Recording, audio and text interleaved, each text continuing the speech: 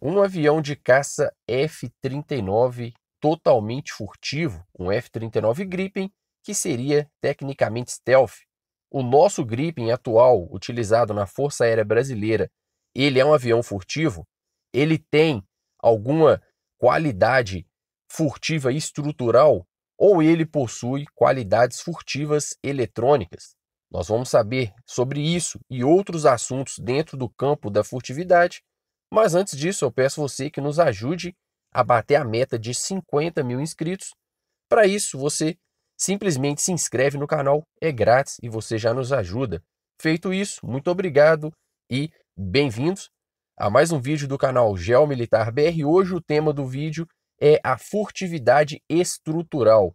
Porque toda aeronave furtiva tem o design parecido e porque todas elas sempre é pintado em uma cor mais a tom ali de, de chumbada ou mesmo uma cor escura, sempre uma cor não brilhante e uma cor mais fosca. O que isso acontece e por que as pinturas stealth modificaram as aeronaves, além também de uns detalhes que foram revelados há pouco tempo, como o serrilhamento dos aviões. Em caso de um Gripen de quinta geração existisse, fique bem claro, o Gripen de quinta geração não existe, mas se ele existisse, talvez ele teria um design parecido com esse aqui. E o que faz o, faria então o Gripen ser stealth? Além da pintura, obviamente, e dos materiais, há pontes de serrilhamentos para reflexão de ondas RCS. Isso não é o caso do Gripen, não ia ser só o Gripen, como todos os aviões furtivos Muita gente sempre pesquisou e nunca conseguiu descobrir o que é furtividade e poucos canais no YouTube. Se eu não me engano, eu já falei disso em outro vídeo, mas outras pessoas aqui, eh, você não vai ter essa informação, pelo menos por enquanto. O serrilhamento foi revelado por um canal gringo há mais ou menos dois anos atrás, onde ele mostrava o serrilhamento em todas as aeronaves stealth, sendo elas nos Estados Unidos, da China ou mesmo da Rússia. Sendo stealth, tem serrilhamento.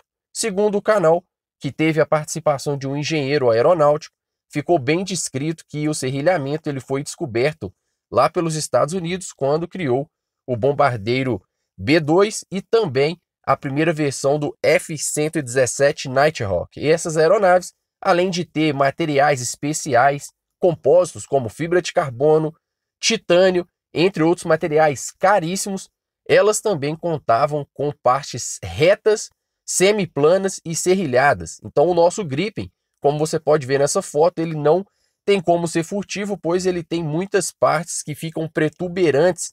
Isso tira totalmente a possibilidade da furtividade. Já podemos ver nessa parte traseira do F-35B americano todo o serrilhamento em várias partes que estejam abertas da aeronave. No caso do F-39 Gripen, ou no caso de um Gripen de quinta geração furtivo, ele não poderia ter o design atual, e sim mais ou menos parecido com o que é esse que você está vendo nesse tipo de desenho. Então, sendo assim, não é que a aeronave em si tenha a possibilidade de nascer furtiva ou ser evoluída para a furtividade. A furtividade estrutural, ela vem desde a escolha dos materiais que menos emitem distorções atmosféricas, calor e principalmente absorção de ondas RCS. Então, não é que o avião furtivo ele tenha muito mais tecnologia de voo do que um avião não furtivo, mas o avião furtivo ele tem mais tecnologia na hora da sua construção.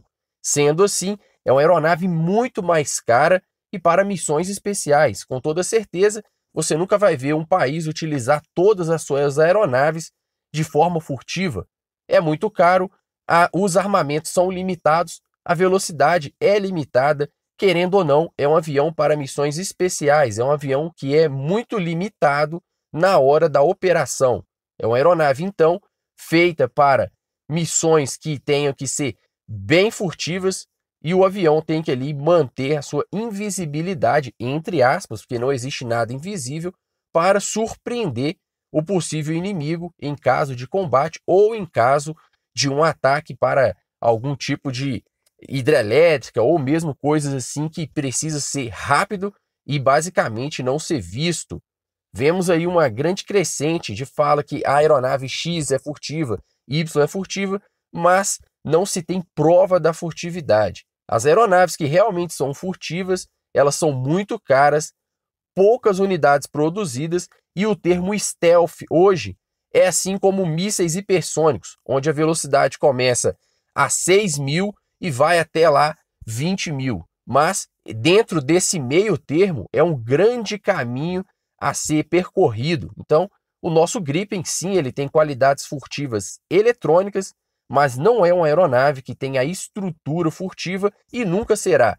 Mas no caso de um Gripen de quinta geração, teria que ser construído do zero realmente, com pintura especial, material especial e o designer todo especial para sim ser um furtivo como os outros aeronaves que temos aí. Algumas são consideradas mais furtivas, outras menos furtivas, mas se essa aeronave consegue ter uma absorção de ondas de radar e também cause pouca distorção atmosférica, já é um caminho interessante para o tema. Muito obrigado e valeu!